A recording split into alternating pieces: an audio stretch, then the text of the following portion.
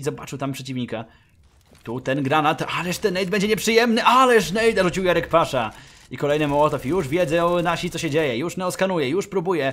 A Pasza musi uważać, nie może tak agresywnie podchodzić, nie może oddać awupy terrorystom, bo to się wszystko może źle skończyć. Na plecy już jeden z naszych, ta Pasza jednym strzałem, dwa fragi, kolejny taki strzał i Pasza, cóż za ace!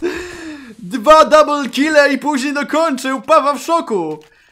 Nie, to trzeba być Jarkiem Paszą, żeby trzema strzałami zdobyć pięć fragów za WP. No to naprawdę było niesamowite. Czegoś takiego jak Boga kocham jeszcze nie widziałem nigdy.